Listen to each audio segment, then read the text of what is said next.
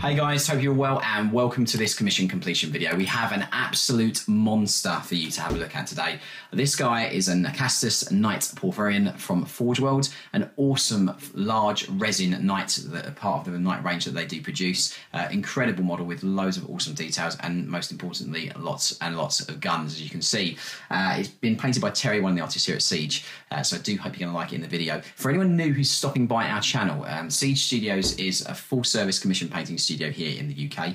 Uh, we have 28 members of staff that work for the business. Uh, all of them paint to a minimum of an above tabletop level, all the way up to competition entry uh, pieces. So we can cover all different ranges of uh, requirements for your painting needs here at Siege. Plus, on top of that, all the you know building, cleaning, extra bits and bobs that you'd expect from us as a studio, freehand sculpting, all those kind of things. So if you are interested in a quote with us and you do like the contents of this video or any other that is on the channel, all you need to do very simply is just head to our website, which is linked in the description of this video.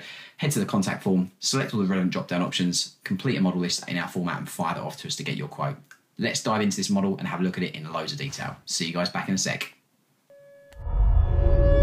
So guys, let's have a look at this absolute monster in more detail. An incredible model. It's been painted by Terry, one of the artists here at Siege, and uh, as per our client request, he has got a lot, a lot of battle damage tech priests will be crying if they saw how damaged he is. Um, so, so, let's pull him forward and have a look at him first of all, because obviously he's uh, quite far in the distance. But what I'll do is I'll just move the camera a little bit so you guys can have a look. I'll just bring this down so you can see a bit closer.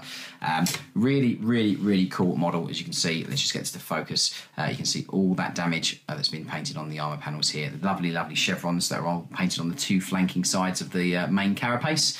Uh, you've got every aspect of detail fully highlighted, picked out with weathering, chipping, and also edge highlighting where applicable.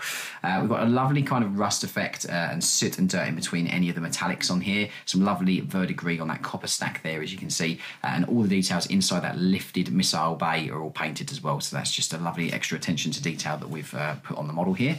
Uh, moving around the back, you've got that lovely vibrant red armor, as you can see. Just move the camera a little bit higher, just so you guys can get a real good um, size of scale. This thing is huge. here's my hand, as you can see, and uh, just to give you a bit of an idea of the, of the overall size, really, really cool model. Uh, and to get this lovely heat bloom here on the barrels of the main armament as well all the lenses picked out in a complementary blue along with all of the uh, missiles as you can see in that lovely missile rack here at the front. We'll just get that forward so you can see. You've got obviously the glass here all picked out with highlighting point of light source. We've got a lovely amount of weathering and scratching around these steps just so that integration of sort of boots and things uh, which is a lovely touch. Uh, and you've got those lovely weathered uh, chevrons there. And then we're just going to lift him. He's obviously a very heavy model just so you can see all the lenses and everything there fully highlighted, uh, which is lovely. Uh, you've got these two extra auto cannons just on the side, just in case you didn't have enough guns. Uh, every lens there, even on the side of these both big sort of arm mount weapons as well. Uh, and then obviously if we just have a look at these legs here as well, you can see all the chips and scratches and everything done on these as well really, really imposing, intimidating model. Uh, the thing I do particularly like is if you look at these feet, all that rust effect has been put in there, the soot and grime has just been put in between all those different panels and sort of filigree accent details on the feet there. Uh, all the scratches and everything all highlighted as well, which is really nice. Uh, again, overall, an incredible, incredible model. And Terry's done a stellar job just adding all those details in there and picking everything out the red is an extremely vibrant red, so won't really suit stuff. Our client, I believe, collects Blood Angels. Obviously, I'm a little bit biased, but um, incidentally, they do look really good in red. I've seen these models in lots of different colours, uh, but red does make it a, uh, a very standout, a standalone piece. Uh, with regards to the metal work, we'll just move around a little bit so you can see on the back again. Uh, the metalwork has got chipping and scratching and, and, certain stuff added to it as well, just to really make it look, you know, extremely battle worn and weathered as per our client's request. And we've got these the metallics at the back. Here. I'll just lift this so you can see. You've got all these extra details all picked out and highlighted. The, the, the the metalwork looks extremely ancient as well as you'd expect because these are very ancient sort of, uh, of titans. Um, but overall, a really, really cool model. And I love this lifting up uh, missile rack as well. I think it's a really, really nice way to hide those missiles and just uh, make sure they get to the target and do the damage. Uh, but again, every little lens all picked out I like the fact that the door is a is, a, is its own standalone just set. It really shows off the access to light as well, which is cool. And uh, again, you can see the different amounts of weathering and chipping and scratching that have been done throughout this on every bit of armour um, as well. Slightly heavier chipping towards the front as well, just because obviously that's where most of the majority of the main fire would be ta- would, would obviously be received, uh, which is really cool. But you know, do really like this as well. Uh, it's a very heavy piece as well. So if, if you um, if you are looking to get one of these, uh, don't expect it to be light because it's obviously solid resin Again, just give it a little bit of spin so you can see there as well. But overall, a lovely, lovely paint job that Terry's done on this. Just gonna lift that up there and just get that out of shot, just so you can see it all again in its glory. We're going to come back in a second and have a look at this and find out a bit more about how to take out a commission like something like this with us here at Siege. See you guys back in a sec.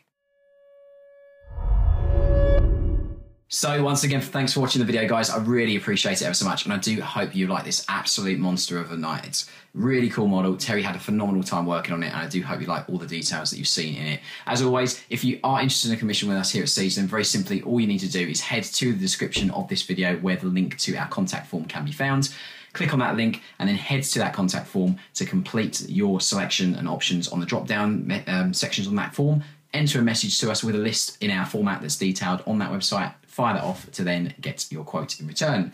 Uh, as always, please like uh, this video, drop us a thumbs up. Um, if you're not a subscriber, please do subscribe so that you can keep up to date with all the projects that we do have uh, on our YouTube channel, uh, as they obviously get put up, and all the old ones that we have on here as well.